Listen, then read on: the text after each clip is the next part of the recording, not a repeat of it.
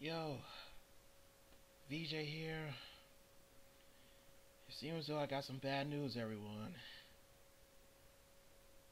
It seems though Manga Fox has removed all Naruto chapters.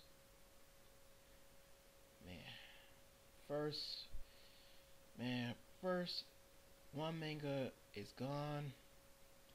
Now, Manga Stream, they don't show all on the the mangas no more.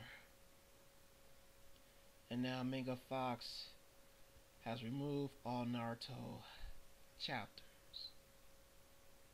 If I'm not mistaken, they might remove Bleach, One Piece, Fairy Tail, you name it. Man, this is going way out of hand. So, uh, so this is the VJ the DJ saying we must support manga.